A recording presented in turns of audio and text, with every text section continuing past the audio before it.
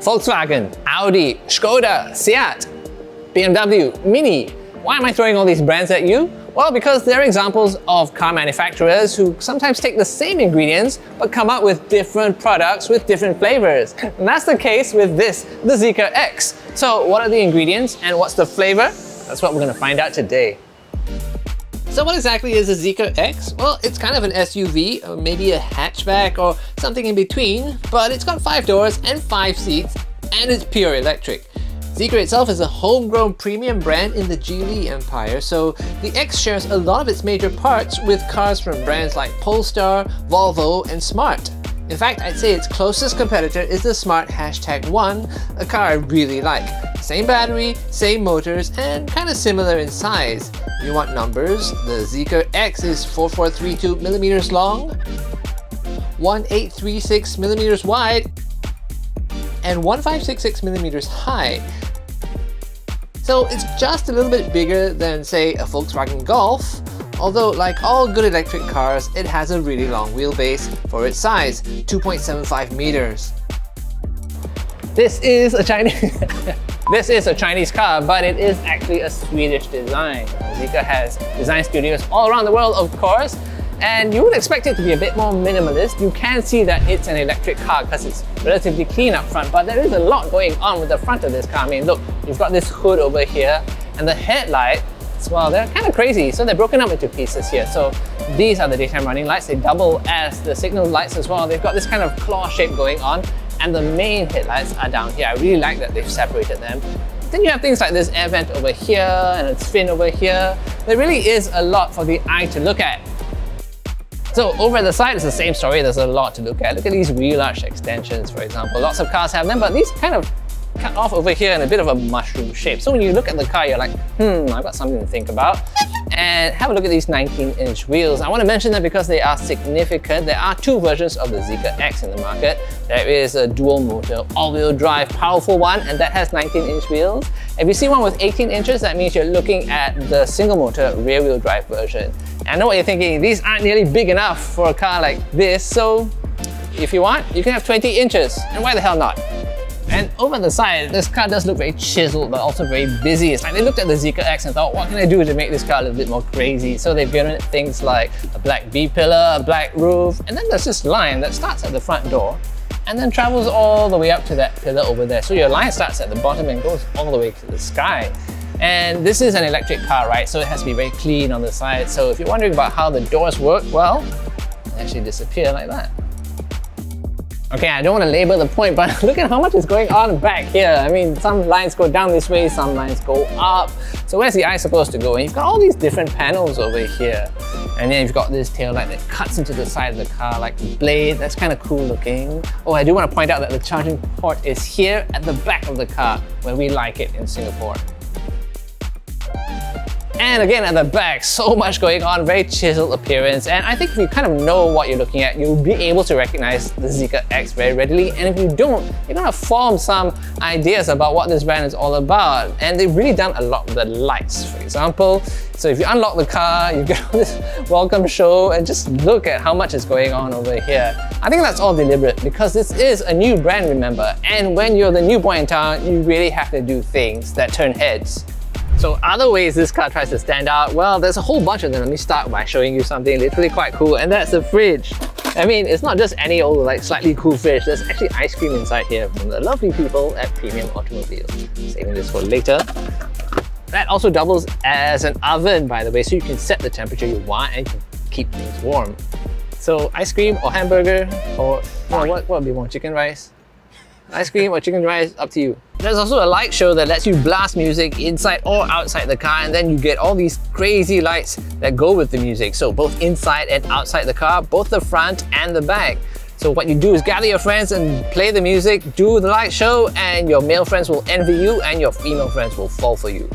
And like all good electric cars, the Zeekr X has a pet mode that lets people know the aircon is running if you have a furry friend inside. There's also a display on the B pillar, so basically no one's gonna smash your windows trying to be a hero.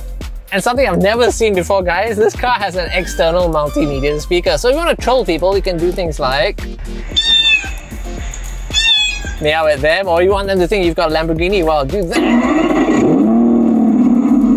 It's not just the sound, I mean the display changes, it's all very amusing, but there is a more serious purpose to this because there's a bunch of preloaded messages that you can sort of send to pedestrians like You're welcome to go first. Be careful.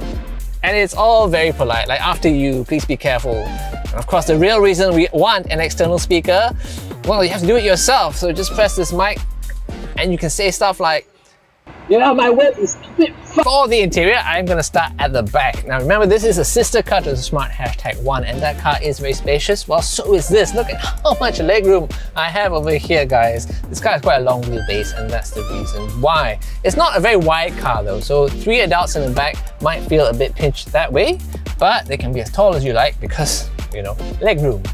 I will say though that it does feel different from the Smart. Now the Smart feels very open and airy because of its design. For the Zeekr, you've got this line over here and things like that kind of minimize the amount of space or downplays the amount of space that you have. Look at the size of these front seats, for example. They're all very monolithic and they kind of block your view of the front of the car. So if you're sitting back here, you will have room, but you might not feel like it. Oh, something I should point out is there is a glass roof. It doesn't open, and there's actually no shade that you can just roll back. Uh, Zeekr does have a snap-in thing that you can specify and that's half for the front, half for the back. The other main impression that you get when you sit back here though is quality. Okay, this isn't real leather, it's like some kind of polyurethane vegan leather, but it's actually very nice and soft. And the aesthetic is just lovely as well. It's all very nice and grey, and there's that kind of Scandinavian minimalism I was expecting.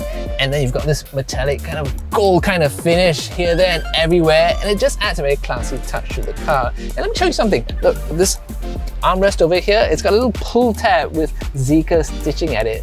Really a lot of attention to detail and a really nice touch. If you think the back is nice, guys, have a look at the front of the Zeekr X. Now, here's where it gets properly Scandinavian. But first of all, in terms of layout, it's very typically electric car now. So that's 14.6 inches as a touchscreen. Honestly, I don't know if that's considered big anymore. You do get another 8.8 inch screen in front of the driver. It's very sharp and very clear. Most of the major controls are here. I mean, maybe all of them. I don't see any buttons, do you? So to get to grips with all this, you're gonna have to learn a whole bunch of menus. I mean, it's gonna take time, and I can see how this car would be a problem for people a little bit older than me. But maybe everyone my age and down is gonna just invest a bit of time and get to know their cars a little bit better.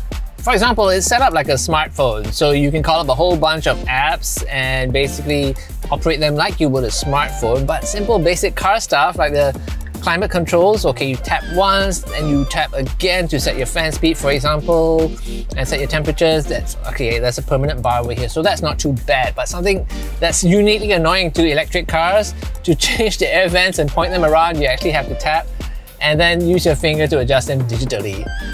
Okay, of course the result is that everything looks very nice in here.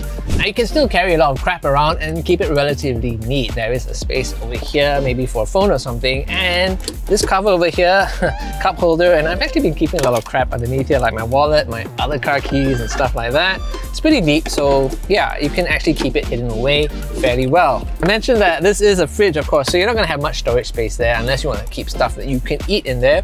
if you're wondering about this, well, this is actually a slot for your phone, and it does have wireless charging, but there is a little bit of a foamy bit underneath that holds your phone in place so it doesn't rattle around. That's a really nice touch. But the most Swedish part of this car has to be the cabin ambience. Again, it just looks and feels so nice in here. You've got all these muted colors. The materials are very, very nice. It's surprisingly premium for a car like this. And it looks like they've looked at the dashboard and thought, how can we subtract as many elements as possible and keep it as clean as possible? So the steering wheel controls, for example, are all very modern and clean looking. And then you've got things like I don't know, you've got a data rate, you could probably hook it over here. You know, it, it, just works really nicely and it looks nice as well. But my favorite thing has to be the ambient lighting. Now, lots of cars have ambient lighting, but look at this one over here. These are supposed to look like kind of LEDs frozen in ice, and that's a really nice effect. And they are, of course, adjustable. You can choose whatever colors you like, and but that's not the only thing. So I'm going to settle on something quite soothing, let's say. And I can actually have it play along with the music and pulsate, or I can have it breathe. So it gently pulses on and off like the car is alive. And if you ask me, that's a very, very soothing setting. If the Zeekr X has a weakness, well, you are looking at it because this boot just isn't very big. It's 362 liters and that's divided between this upper section here and space underneath this floor as well. Uh, there is a frunk and it is surprisingly large compared to the Smart Hashtag 1, which has that tiny, tiny space up there. That's actually where the tire inflation kit lives and above that you can keep a surprising amount of stuff. But when it comes to this, well, I do wish for a bit more functionality. Like you can't push these rear seats forward to create a bit more space so you can close the tailgate when you've got something bulky. You can't even put the seat backs a little bit more upright like you can in many hatchbacks. You can of course fold them and then you get 1,182 liters, which is quite a lot. But if you have to carry people and stuff, well, if your friends or relatives call you and say, can you come to IKEA with me or can you take me to the airport, you're gonna have to say no. I drive a Zeekr X. Come to think of it, that's not really a drawback. Okay guys, this is an electric car, so I bet you're wondering about the range. Well, the Zeekr X has a 66 kilowatt hour battery, so it's not huge.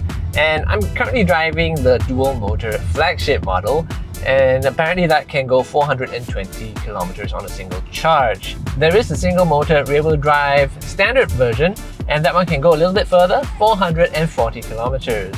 But one thing to note is that this car does have an NCM battery, nickel, cobalt, manganese, so that's the kind that you don't want to charge to 100% all the time.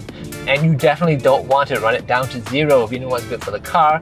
So I think effectively you're looking at a range of something like 200 kilometers at a time. And this is probably the kind of car that you're going to want to charge kind of as and when you get the chance, maybe a couple times a week.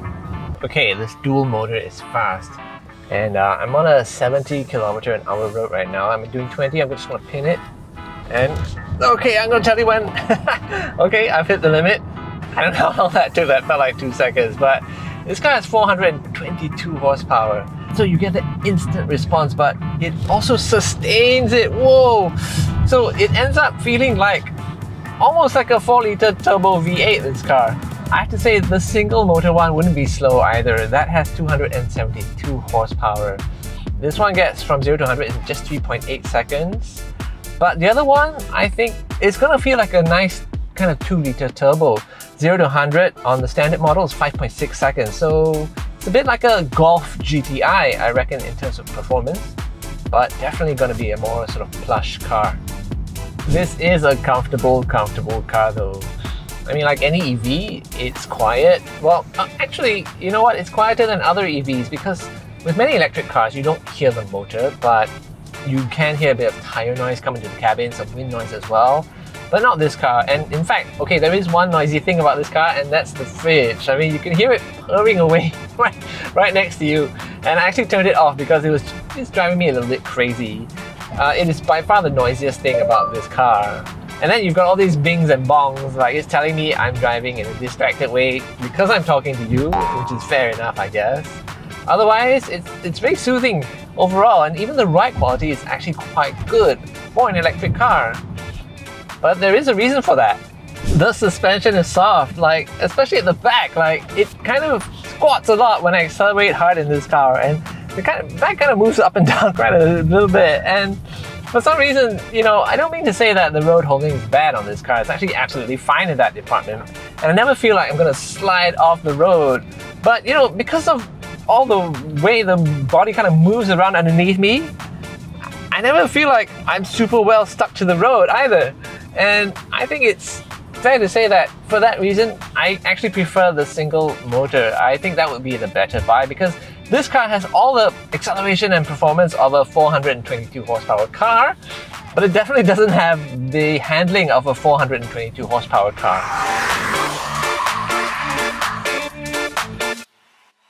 I think it's two thumbs up for the Zeekr X, but I think my preference is actually for the single motor rear wheel drive standard version and not this dual motor flagship. Of course, you don't get the crazy acceleration that you get with this car, but if you buy that one, you've got a nice balance between performance and handling. This one is really, really fast, but it doesn't really handle like a sports car. But either way, you're gonna get so much performance, so much refinement, so many features, and I think the Zeekr X is a great reminder of why everyone's so excited about electric cars today car like this really makes it feel like they are the way forward.